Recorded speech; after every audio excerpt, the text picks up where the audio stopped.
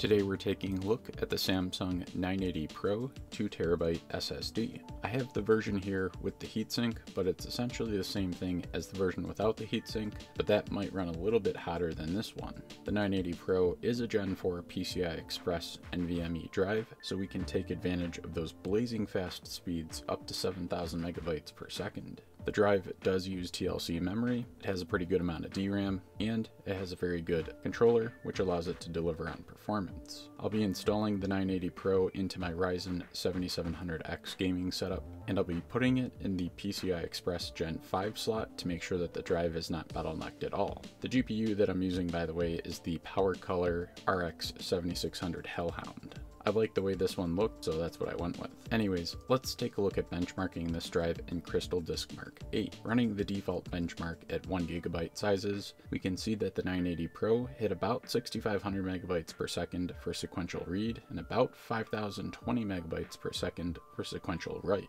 We had very good random 4K performance as well. I did end up rerunning this test using the 8GB test file. This is a little bit more ideal for benchmarking and a little bit less like real world performance, but it does show the drive's sequential read speed improving to about 6820 megabytes per second, and we're left with about the same 5000 megabytes per second write. The random 4K reads did improve a little bit and the writes dropped off a little bit. This drive will definitely excel at being your main OS drive with more than enough room to store quite a few Steam games on it but you could also just use this game for drives, media files, or in my case, video editing. In my system, this drive will end up being the main drive for my PC. I'll use it for video editing, storing content on, and I probably will sneak a couple of games in there. Definitely make sure if you buy one of these to install the Samsung Magician software and update that firmware right away. You get the best performance and longevity out of the drive if you do that. However you end up using it though, I'm confident that you're going to love the speed